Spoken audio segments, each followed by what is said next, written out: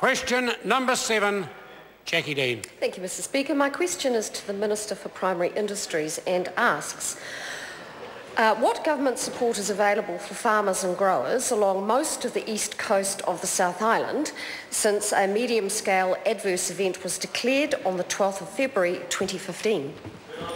Honourable Nathan Guy. Mr Speaker, the government has made an extra $200,000 available to localised rural support trusts who provide advice, coordination and provide emotional support. Rural assistance payments are also available from work and income and assistance from Inland Revenue will give greater flexibility to affected farmers and growers around their tax obligations. Mr Speaker, history shows that farmers and growers aren't interested in a handout. They want to know that the government acknowledges that many of them are experiencing tough times right now and I know that they have the resilience to get through this.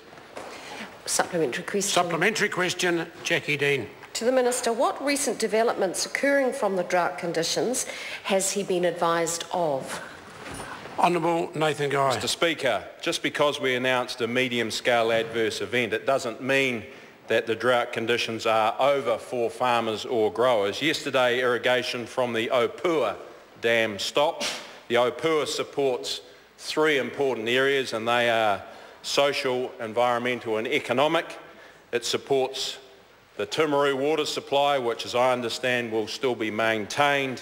Fish and Game have also been rescuing fish from drying rivers and releasing them into the Opihi River, which is fed by this storage scheme. And of course the Opuha also underpins hundreds of jobs and the South Canterbury economy. This just highlights, Mr Speaker, how much worse it could have been if we don't have decent water storage projects built in this country. Supplementary. Supplementary question, Jacqui Dean. Thank you. Where can farmers and growers in affected areas continue to receive up-to-date information and support? Honourable Nathan Guy. Mr Speaker, uh, organisations such as Rural Women, Beef and Lamb, Dairy New Zealand and Rural Support Trusts are holding various events over the coming weeks where farmers and growers can meet and exchange support and advice. Federated farmers are also operating their feed line and of course the banks have made support packages available for farmers. Of course farmers and growers can reach out and call the 0800 number for Rural Support Trust. Supplementary question, the Honourable Damien O'Connor. Thank you, Mr Speaker. Why won't the Minister provide the support that farmers and growers have been asking for in report after report, and that is more resource for a better bioprotection system?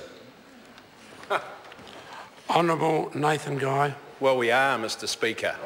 Uh, we are, and industry knows that.